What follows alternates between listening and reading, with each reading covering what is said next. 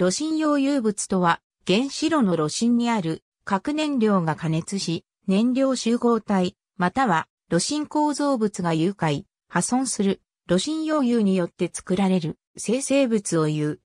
1982年に原子炉圧力容器内に事故後初めてカメラが入り、1985年には炉心を解体して溶けた燃料を取り出す作業が始まるなど、調査が進む中で次のようなことが明らかにされた。下図参照。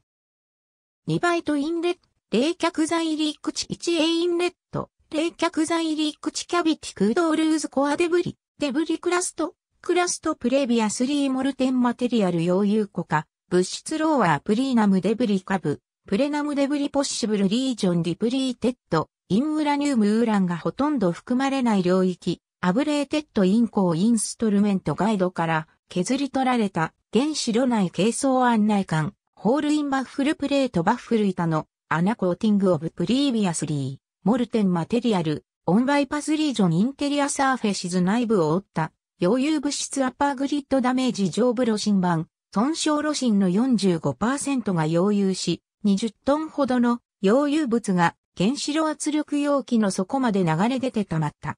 健全な燃料棒は100本程度で、それまで炉心のあった上部には巨大な空洞ができた。そのすぐ下は破壊された炉心の堆積物の山である。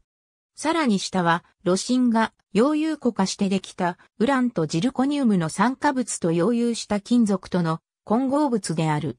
底部に落下した物質はデブリ状をしていた。